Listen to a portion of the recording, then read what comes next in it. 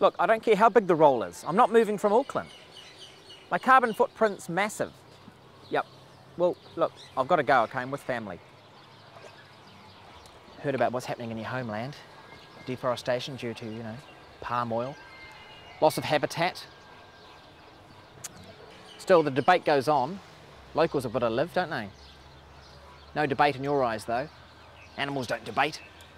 There's no elephant debating club, is there? Or is there? Can't see why they can't just put labels on the products. This product contains palm oil, you know? How easy is that? I've labelled my product. Look. See? Come on, what do you mean? I'm a star. Might as well bottle it. Go down the Paul Newman route, eh? People will pay thousands to rub some of my awesomeness on. Oh, oh look at that. It's actually quite disgusting, yeah. Don't take too much, that's worth a lot. oh, that's, ooh. All right, well, you off, are you?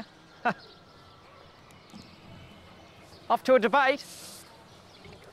Bye.